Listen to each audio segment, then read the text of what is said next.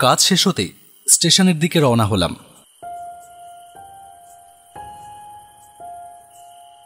নামি স্টেশন। টিনের ছোট একটা চালা, সেখানেই টিকিট বিক্রির বন্দোবস্ত। দুটো একটা টিম টিমে আলো, কেউ কোথাও নেই। টিকিট ঘর বন্ধ। প্ল্যাটফর্মের ওপর কে একজন ঘুমোচ্ছিল। আমার আওয়াজে উঠে বসল। তাকে জিজ্ঞেস করলাম, ট্রেন কটায়? জামশেদপুর ফিরব। লোকটা আদিবাসী। দু হাতে চোখ মুছে বিস্মিত দৃষ্টি মেলে কিছুক্ষণ আমাকে দেখল। তারপর বলল সাড়ে ছটায় শেষ ট্রেন চলে গেছে বাবু। আবার ট্রেন কাল দশটায়। সর্বনাশ তাহলে রাত কাটাবো কোথায়? শীতকাল এক একবার হাওয়া দিচ্ছে। মনে হচ্ছে যেন গায়ে হাজার হাজার ছুঁচ ফুটছে।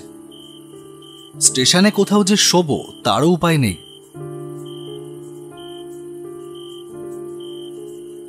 তাড়াতাড়ি বেরিয়ে এলাম। টোটো অটো কোনো কিছুর কোনো চিহ্ন মাত্র নেই। লোকটা বোধহয় আমাকে নামিয়ে দিয়েই চলে গেছে। আবার প্ল্যাটফর্মে ফিরে এলাম আদিবাসীটার সামনে। বলছিলাম যে এখানে কোথাও হোটেল আছে? হোটেল? লোকটা এমনভাবে চেয়ে রইল হোটেল শব্দটা যেন সে জীবনে এই প্রথমবার শুনছে। বুঝিয়ে দেবার ভঙ্গিতে বললাম সরাইখানা যেখানে রাত কাটাতে পারি। না বাবু। সঙ্গে বিছানাপত্র বা বাক্স প্যাটরা কিছুই ছিল না, থাকবার কথাও নয়। শহরের অফিস থেকে এখানে একটা জরুরি চিঠি বহন করে এনেছিলাম। বন বিভাগের ছোট্ট একটা অফিস রয়েছে, সেখানে একটা টেন্ডার পৌঁছে দেওয়া। আসার সময় বাসে এসেছিলাম। যাওয়ার সময় শুনলাম বাস বন্ধ। পথের মাঝখানে একটা বাস বুঝি মানুষ চাপা দিয়েছে। ব্যাস, তাই নিয়ে হই হই কাণ্ড। ইট মেরে গোটা কয়েক বাস অচল করার পর বাস আর যাচ্ছে না। অপেক্ষা করে করে ক্লান্ত হয়ে একটা টোটো ধরে স্টেশনে এসেছিলাম। ট্রেনেরও এই ব্যাপার। এই ঠান্ডায় এভাবে খোলা আকাশের নিচে দাঁড়িয়ে থাকলে জমে যাবার আশঙ্কা। যেভাবেই হোক, আশ্রয় একটা খুঁজতেই হবে।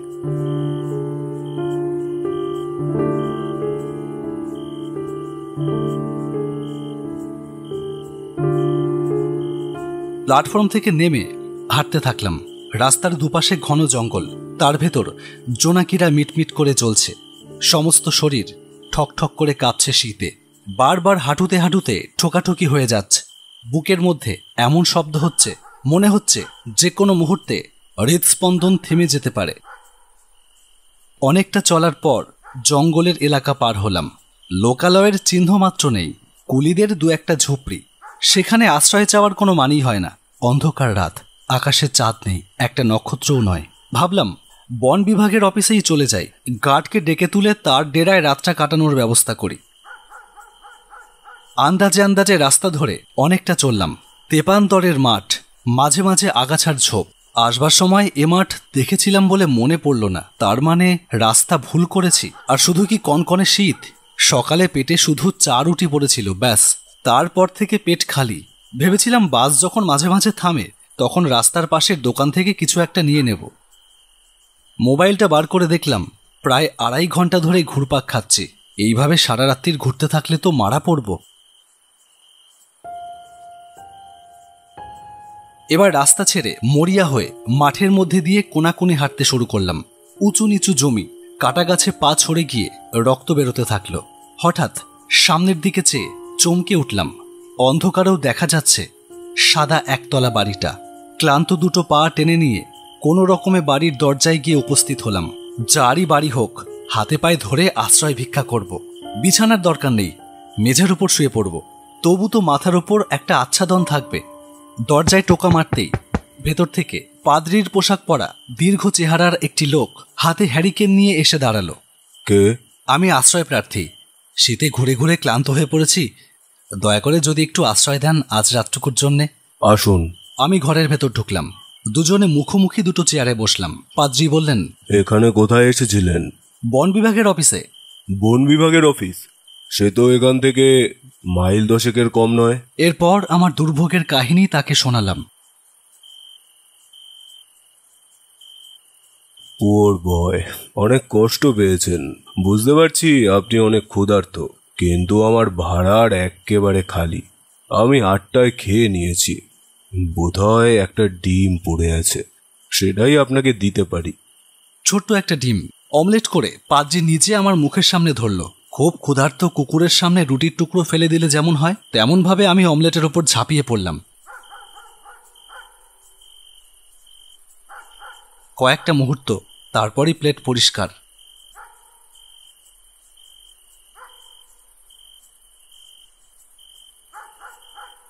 ধবধবে কোমল বিছানা গরম কম্বল। আর দেরি করবেন না। আপনি ভীষণ ক্লান্ত। শুয়ে পড়ুন। আশা করি কাল বাস চালু হয়ে যাবে। দরজাটা বন্ধ করে দিয়ে পাদ্রি চলে গেল।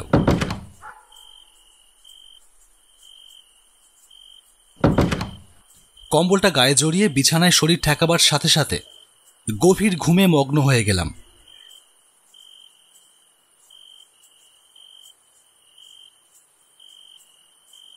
হঠাৎ কখন যেন ঘুমটা একটু ভেঙে গেল। চোখ মেলে যা দেখলাম, তাতে আমার সারাটা শরীর রোমাঞ্চিত হয়ে উঠল। আমার মুখের ঠিক সামনে দাঁড়িয়ে আছে আর একটা মুখ। মুখ বললাম বটে, কিন্তু এই মুখ কোনো মানুষের নয়। চোখের জায়গায় একটা বিরাট গর্ত, সারা মুখে ছড়িয়ে রয়েছে নারকীয় বিভৎসতা। এই যে জ্যান্ত মানুষ গো, কতদিন পরে জ্যান্ত মানুষ দেখলাম। তাও আবার পুরুষ মানুষ। পুরুষ মানুষ কথাটা বলার সময় লক্ষ্য করলাম তার চোখের কোটর থেকে তীব্র লাল আলো বিচ্ছুরিত হলো। খটখট করে উঠল দাঁতের সার এই পুরুষগুলোকে যদি দুনিয়া থেকে মুছে ফেলতে পারতাম? কথাগুলো সব আমার কানে এলো কিন্তু সমস্ত ইন্দ্রিয় এতটাই ক্লান্ত যে সব কিছু শোনার বা বোঝার সাধ্য আমার ছিল না। কি হয়েছে রে? কি হয়েছে? আর একটা নারী শরীর। নারী শরীর তো নয়, যেন সাক্ষাৎ নরক থেকে উঠে আসা এক পিসাচিনী। এই দেখ জলজান্ত একটা পুরুষ মানুষ। আরাম করে আমাদের জমিতে শুতে এসেছে। বলিস কি, জোয়ান, স্পর্ধা তো কম নয়? তোর তো মনে আছে আমার কথা। ওমা, মনে আবার নেই? এই তো সেদিনের কথা। আমার চোখের সামনেই তো সবকিছু ঘটলো। আমি কোনোদিনও ভুলবো না। সে ঘটনা ভোলা যায় না, ডরথি? বুঝলাম। একজনের নাম জোয়ান আর একজনের নাম ডরথি। সঙ্গে সঙ্গে বাড়ির সাদা দেওয়ালগুলো সরে গেল। হালকা সবুজ রং করা চারটে দেওয়াল এসে আমাকে ঘিরে ফেলল। আগের দেওয়াল একেবারে শূন্য। আমি অবশ হয়ে পড়ে আছি। চোখের সামনে এসব কি দেখছি আমি? ওমলেটের সঙ্গে একটু জল খেয়েছিলাম পাদ্রি দিয়েছিল। সেই জলের মধ্যে কি নেশার কিছু মেশানো ছিল? যার ফলে চোখের সামনে এইসব অলৌকিক দৃশ্য দেখছি? একটু দূরে কোলাহল শোনা গেল। পুরুষ কণ্ঠ। তারপরই দেখলাম, একটি যুবতীকে টানতে টানতে একজন যুবক প্রবেশ করল। যুবতীকে এনে যুবকটি সোফার ওপর আছাড় মারল। শয়তানি, এবারে তোকে হাতে নাতে ধরেছি। বল, জানলা দিয়ে যে লোকটা পালালো, সে কে? আর্থার, ভুল দেখেছ তুমি। নিশ্চয়ই ক্লাব থেকে নেশা করে এসছো। আমি তোমার দেরি দেখে বিছানায় শুয়ে পড়েছিলাম। জানি তোমার কাছে ডুপ্লিকেট চাবি আছে। ঢুকতে কোনো অসুবিধা হবে না। যিশুর দিব্যি তোমাকে আমি সত্যি কথা বলছি। তোর এই পাপ মুখে যিশুর পবিত্র নাম উচ্চারণ করিস না যে লোকটা পালালো। সে কপার কারখানার ম্যানেজার হালদার তা আমি জানি। তোদের আসনায় অনেক দিন ধরে চলছে সে খবরও আমি রাখি। আমি শুধু ধরবার অপেক্ষায় ছিলাম। ডরথিকে জিজ্ঞাসা করো সে তোমাকে সব বলে দেবে। ডরথি? থু সে আর একটা শুকরি। তার কাজ কলোনির মেয়েদের পুরুষ জোগানো স্বামীর অনুপস্থিতিতে। তা আবার জানতে বাকি নেই। সে অনেক ঘরের শান্তি নষ্ট করেছে। তাকে দুনিয়া থেকে হটাতে হবে। তুমি সব বাজে বকছো। নিজের দোষ ঢাকবার জন্য এইসব কথা বলছো তুমি। চুপ! আমি ক্লাবে জুয়া খেলি মদ খাই। কিন্তু কোনোদিন কোনো মেয়ে ছেলের দিকে চোখ তুলে তাকিয়েছি। তাকেও বলতে পারবে? হ্যাঁ হ্যাঁ জানি। পুরুষ মানুষের সাত খুন মাপ। দোষ করে আবার উল্টোপাল্টা কথা।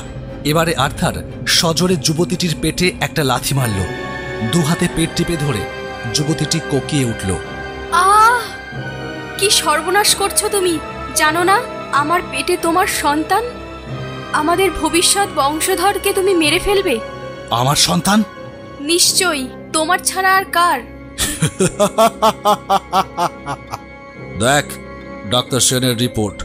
আমি কোনোদিন সন্তানের জন্ম দিতে পারব না। গত যুদ্ধ আমার এই সর্বনাশ করেছে। অপারেশন করে গুলি বের করার সময়ে আমার পৌরুষ হরণ করেছে। কাজেই যেটা তোর পেটে রয়েছে, সেটা নেটিভ হালদারের দান। নিজের কথায় নিজেই ধরা পড়েছিস। শয়তানি, আজ তোর শেষ দিন। কি হচ্ছে, আর্থার? বাড়িটা নরককুণ্ড করে তুলেছ যে। ডরথি, আমাকে বাঁচাও। পশুটা আমাকে শেষ করে দিতে চাইছে।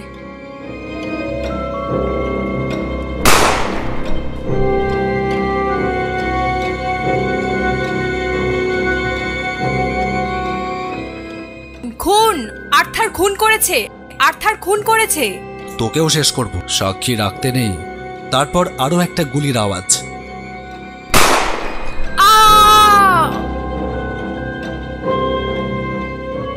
দেওয়ালগুলো সরে সরে গেল। বুঝতে পারলাম আবার পুরনো দেওয়াল ফিরে আসবে। কিন্তু না এবারে আর কোনো দেওয়ালই ফিরে এলো না। পরিবেশের দিকে নজর দিতেই এবার চমকে উঠলাম। কবরখানায় শুয়ে আছি। একেবারে দুপাশে দুটো কবর। ঝুঁকে পড়ে প্রস্তর ফলকের লেখা পড়লাম, জোয়ান পিটার, জন্ম উনিশশো ছাব্বিশ, মৃত্যু উনিশশো পঞ্চাশ।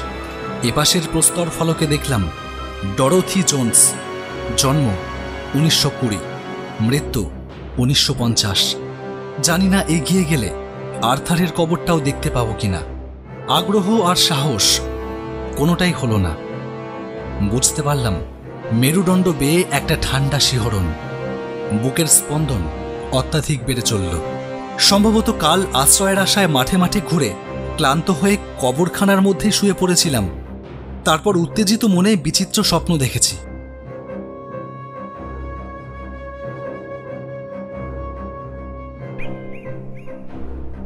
রাস্তার দিকে এগোতেই মুখোমুখি দেখা হয়ে গেল।